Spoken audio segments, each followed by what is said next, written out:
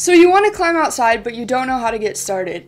In this video, I'm going to be covering how to find outdoor bouldering, top roping, and sport climbing, as well as all the gear and knowledge that you'll need to get started climbing outdoors. All this is based off my experience over the past three years climbing outside, but warning, I'm not a guide or certified in any of this stuff, so don't go outside based only on what I'm saying here, then get hurt and blame it on me. Make sure that you stick around till the end of the video because I'm going to be answering some subscriber questions about climbing outdoors, as well as giving you a few tips and tricks about climbing outside that you might not have thought of. First thing is you need to figure out where you want to climb.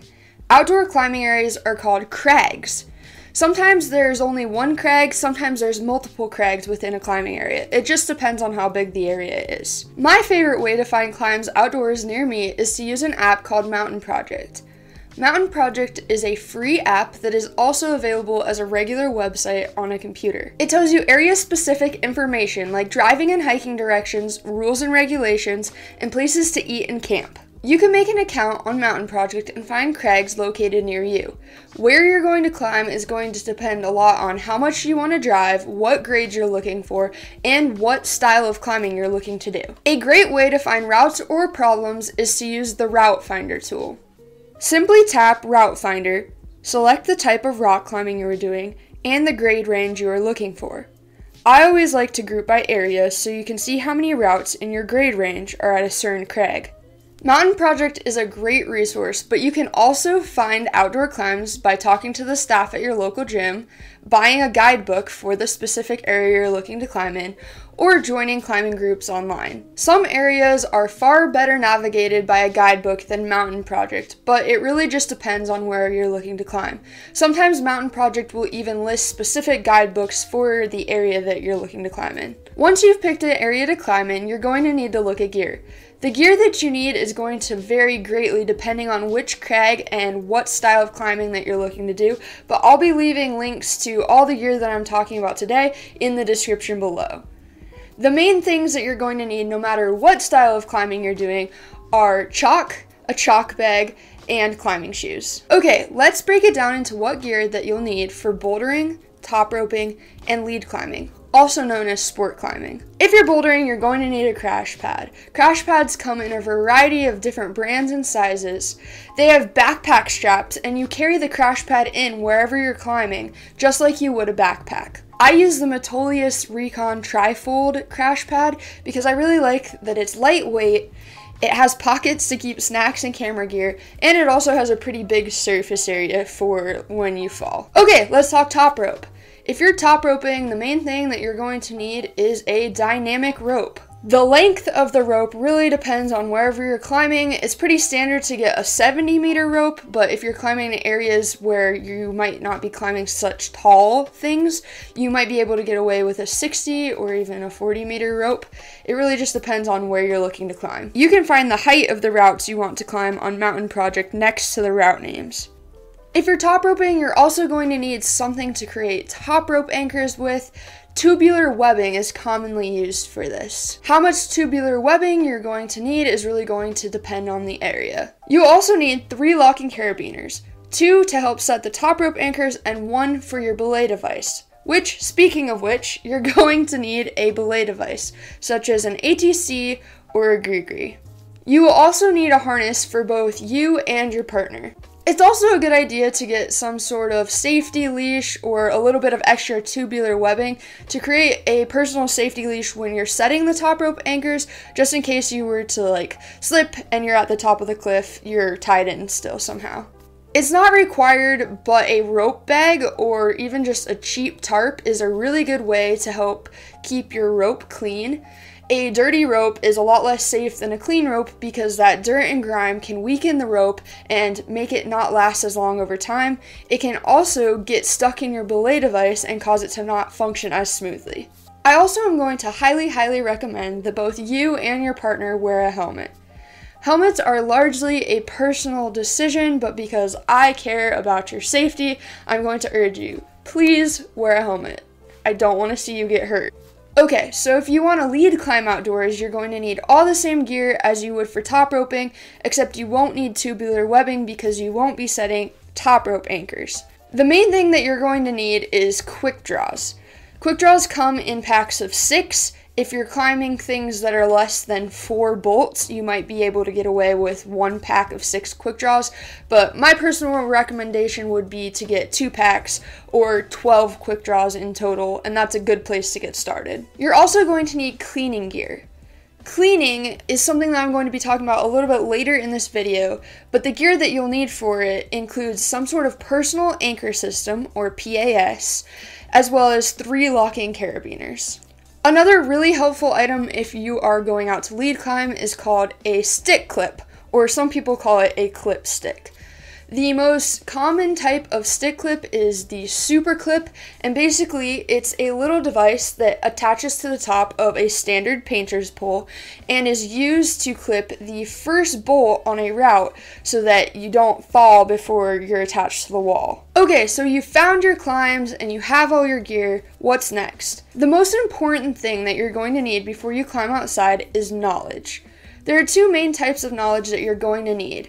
Number one is etiquette knowledge, and number two is hands on knowledge. I'm going to give you the basics of both etiquette knowledge and hands on knowledge, but especially for hands on knowledge, I can't give you everything that you're going to need to know because I'm not a guide, I'm not certified. These are things that you're going to have to learn from experienced climbers in person, uh, take a class, or read a book watch the list of videos that I'm going to be leaving in the description. But please, before you go outside, make sure that you have all the etiquette knowledge and hands on knowledge that you can to climb safely and properly. Etiquette knowledge is basically how to be respectful of the people and places while you're climbing outdoors. Etiquette knowledge includes things like leave no trace principles, which in a nutshell is making sure that you stay on trails, don't take things from nature home with you, and pack all your trash or any other items that you brought in with you back out when you go. This is essential if we want to keep having nice outdoor climbing areas. When you climb outside, make sure to keep your music and talking at a low volume so that climbers and belayers can communicate safely and effectively. If you're using chalk, make sure to brush any tick marks that you're making off the climb after you're done climbing. Lastly, try to keep your personal belongings contained to one specific area and as much off the trail as possible so that people can walk around freely. Okay, so now let's talk about hands on knowledge. For bouldering outdoors, there's not really any extra hands on knowledge that you're going to need to know climbing outside compared to climbing inside. Just make sure that you're a little bit more cognizant of spotting each other and know that, you know, if you don't land on your crash pad, you're going to be landing on the ground. If you're top roping, you're going to need to know how to set a top rope anchor. Keep in mind that not all crags have the ability to set top rope anchors. Some crags are lead climbing crags only.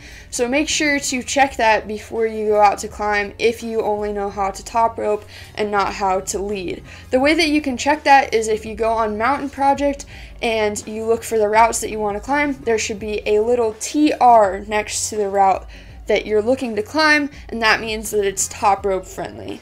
And then obviously you also need to know how to top rope climb and top rope belay. Okay, so for lead climbing, you're going to need to know how to lead climb and lead belay. You're also going to need to know how to clean. Cleaning is the process of getting your gear back off the wall after you're done climbing on your way down. For lead climbing, you're also going to need to know how to use a clip stick to clip that first bolt like we talked about earlier. So for hands-on knowledge, you're going to be able to learn a lot of this stuff by taking a gym to crag class at a local climbing gym, learning from an experienced climber, and also supplementing these things, these hands on experiences, with videos and books, which I'll link to a few in the description.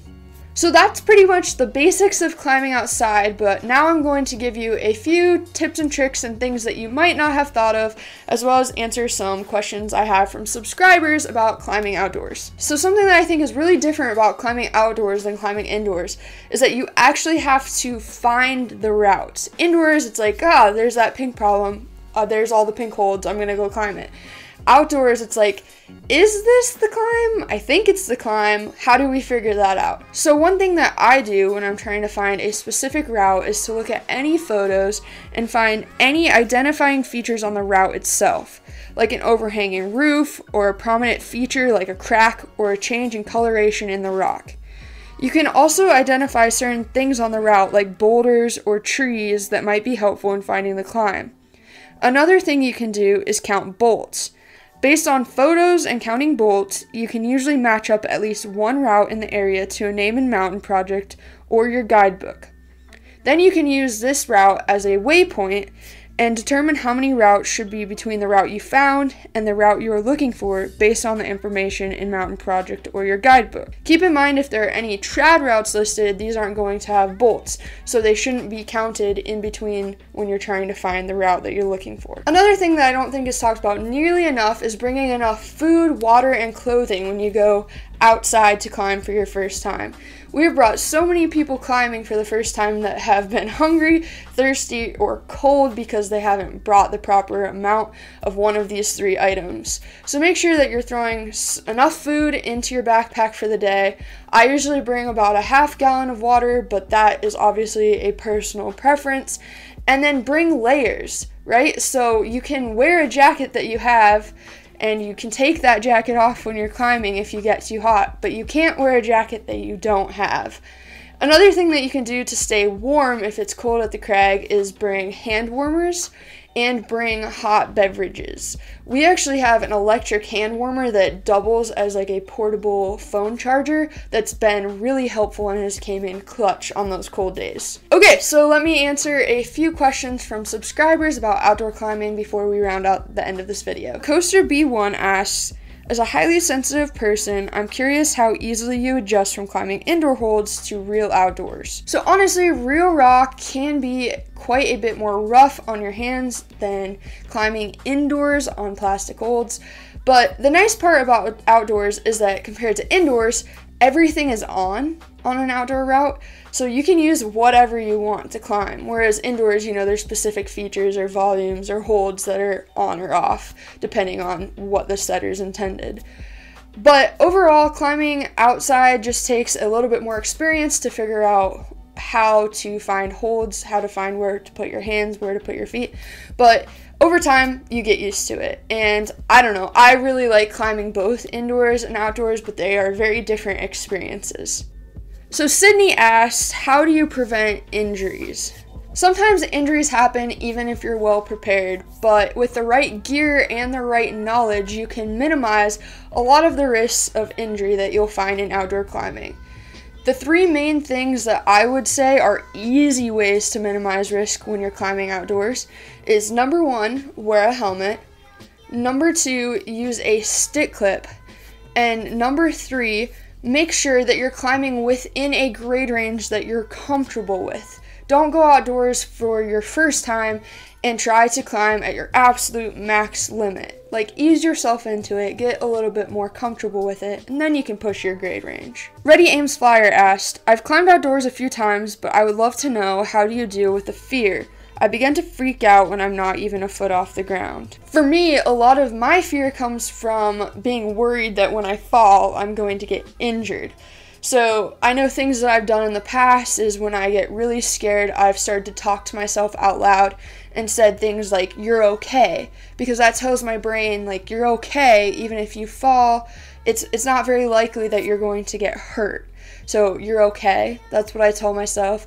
I also have told myself specific actions that I can take to put myself in a better position so as to not fall.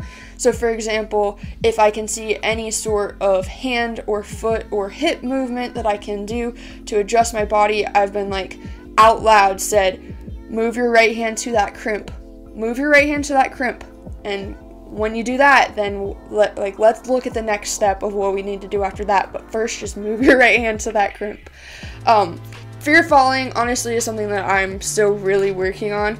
So I guess my best advice is to be patient with yourself and realize that it's completely normal to have these fears, right? Like your body is trying to keep you alive. Like any skill or improvement that you're trying to make, fear of falling is something that's just going to get better with a lot of practice, right?